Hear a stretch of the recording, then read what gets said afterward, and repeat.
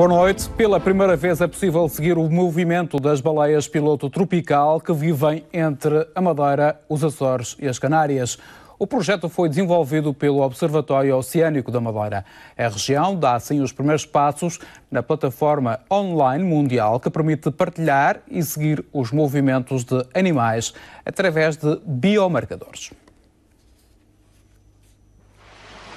O Observatório Oceânico da Madeira está a estudar a baleia piloto tropical através da monitorização da espécie. Ao mesmo tempo, tornou acessível ao público o trajeto destes bichos entre os arquipélagos da Macaronésia na plataforma online MoveBank, um projeto que está a ser desenvolvido com vários parceiros europeus. Permitiu colocarmos um biomarcador de satélite numa baleia piloto.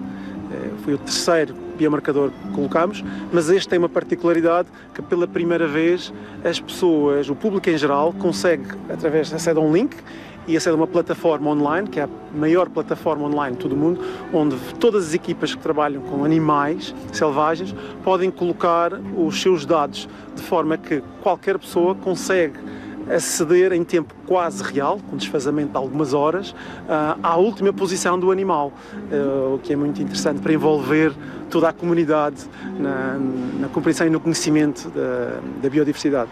A experiência já foi feita noutros dois exemplares. A equipa do Observatório descobriu a rota das baleias. Uma esteve sempre aqui associada às águas da Madeira, não se afastou aqui da, da babejinha, como costumamos dizer, e já sabíamos que estes animais movimentavam-se tínhamos tido os mesmos animais, conseguimos ver em fotografias nos Açores e nas Canárias. Não sabíamos era qual o caminho, se fazia uma rota direta, se fazia uma rota mais longa, mais longa, quanto tempo é que demoravam, se paravam pelo caminho.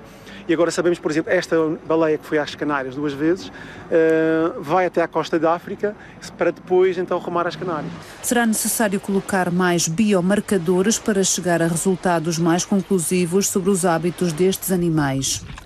Dois novos projetos foram submetidos a apoios europeus e há novas espécies que interessa estudar. Temos um projeto, que é o projeto Whale Tales, que também tenciona colocar, tem como objetivo colocar transmissores de satélite ou biomarcadores de satélite, mas em cachalotes, que também não sabendo, não conhecemos muito pouco sobre eh, a ecologia destes animais, sobre a distribuição destes animais e estamos a trabalhar nisso e esperamos dentro de um ano ter algumas, algumas respostas.